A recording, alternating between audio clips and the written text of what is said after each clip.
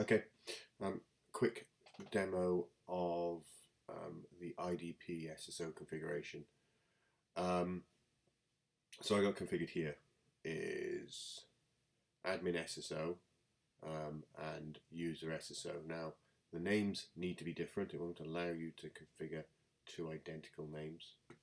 Um, both are used in the same single sign-on URL, my Shibboleth server. Um, uh, you have to have a unique entity ID. Um, however, the entity ID needs to be correct for the admin one. We are checking the, the entity ID in the response for admin SSO, but the um, the entity ID in the response for I, for the user SSO is not being checked. This is the user SSO because it says sign in disabled, meaning um, quite bizarrely that um, that single sign-on for admin and single sign-on for admin is enabled on, on this one here. Um, so I've got a, uh, a SAML trace running here so we can see the, the, the, the results. So I verify single sign-on for this one, um, all working correctly. Um, and we can see back here in the uh, in the post data, um, here is um, my entity ID there, Shibboleth, uh, IDP2 Shibboleth, which is matching this one up here. Um, and obviously the issuer and all the certificates, uh, and then uh, the name ID coming through um, in the response. Um, so then let's uh, let's clear that one. The same for the uh, the, the the user attributes. That's all importing correctly.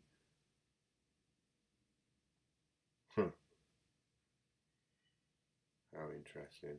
Import SAML private access. Why is that? Doing that. The response is all correct. This seems to be something. Let's go back here and try that again. Okay, so there's a bug there. Quite weird. Um, there we go. It's importing all the information all fine. So that's uh, SP initiated on both of those. Um, the other obvious one is is what happens when I log in uh, with the user um, through Zscaler app. So uh, the the ZIA SSO is happening here, and the ZPA SSO is happening here. Um, and uh, of course then I am signed in correctly. Um, I ping from DC2 uh, can get to my domain controller and I can uh, remote control onto it. And then we can see here in the request there is my uh, there is a request. That's the, the one I've just made um, to my domain controller so um, user SSO for the for the app is working fine um, as well. And then um, just to prove the other one, let me just come over here because I copied the URL. Um, uh, SP, uh, IDP initiated SSO to provide a URL, um, the relay state. I'm not sure why we need relay state to be quite honest, but um, there we go uh, and the, the, the SSO is happening there. Um, obviously that IDP initiated if I sign out um, and actually do it this way.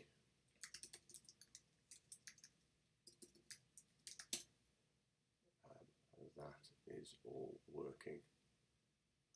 Um, and uh, just uh, go back and uh,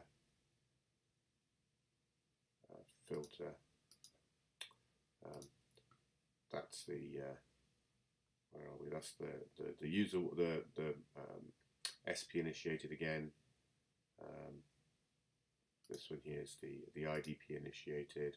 We got the relay state, um, and that's all working. So the, the the checking of the entity ID seems to have disappeared, um, which is which is kind of fine. Um, the odd thing being, if I come back here, let me um, let me go back here and go to my IDP configuration. Um, let's actually create these um, from scratch. Delete. let's delete this one. Delete. Um, and then go add an IDP configuration. Let me import my my metadata. Now it's instantly taking the um, the wrong uh, metadata URL, URL there. There are there are several bindings in the file. Um, um,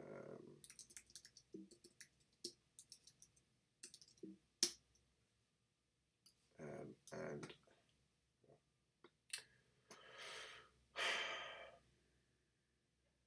anyway, um, here are the here are the the bindings. Um, and the one that we actually want is that's the one that's the auth n that it's taken the first one. And what we want is the post binding which is which is this one. Um, potentially I could just simply update the metadata. Um, I'm going to call this one my admin IDP config. Now if I change the, the, the service provider entry on here because I do need to have entity uniqueness across our configurations. Um, this is obviously admin SSO. Um, let's save that one. Um, and then we add the user um, configuration. Um, change that URL, and that's the unique one. Um, sorry, user. Click save on this. So now really I've just flipped around these entity IDs. Um, if I do a verify single sign-on now, it's going to fail, uh, doesn't get anywhere. Um, if I uh, do that um, uh, IDP initiated SSO, that's going to fail. You're going to actually get an error. Um, if I try and uh, uh, force it here, uh, as you'd expect, that one fails.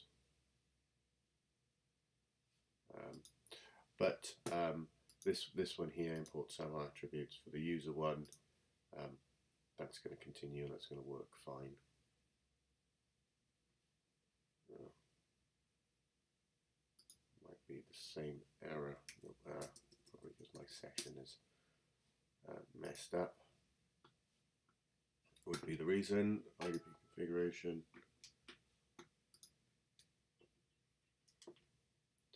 Um, there we go. Some attributes are working okay. Um, and then um,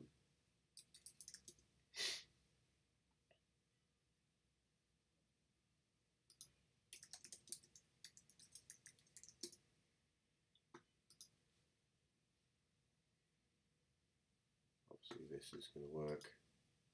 Okay, let's disconnect that one.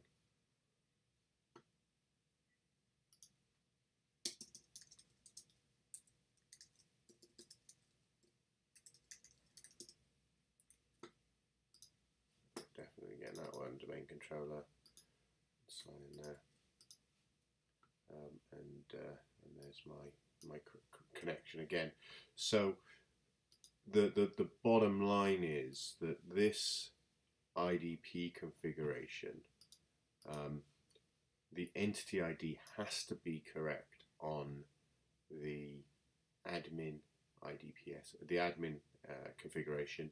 It does not need to be correct on the user one, um, although I do think that we should support them being the same. Um, and then obviously um, the fact that it's it's selecting the wrong um, sign-in URL on the uh, um, from the metadata and um, but you need to change the name. I think a default name would be useful there as well. Hopefully that was useful